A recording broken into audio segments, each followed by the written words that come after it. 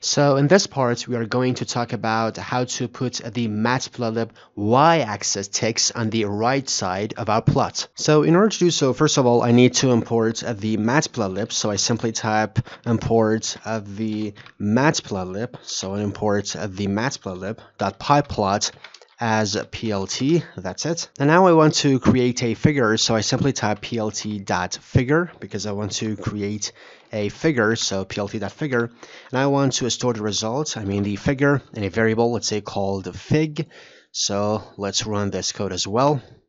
So you can see this is our figure and now after creating the figure, let's add uh, the axes as well. So I simply type figure. So I want to create an axis on this figure. So I simply type figure dot add subplot and I want to store this in a variable let's say called ax I mean axes so if I press enter you can see I have created the axes as well and now let's plot our charts. So I simply type plt.plot because I want to plot something. And the data which I want to plot is, for example, 1, 2, 3, 4. Very easy stuff. So I press enter. So you can see this is our chart. But now suppose that I want to put the text of the y-axis on the right side. So in order to do so, I simply type ax, I mean our axes.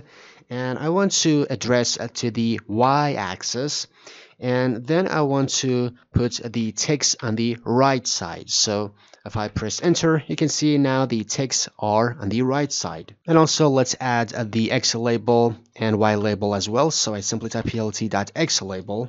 And for example the label of the X axis is X and the label of the Y axis so plt.y label is, for example, y. So you can see that we have added these labels, x label and y label. And also I want to change the position of this label to the right.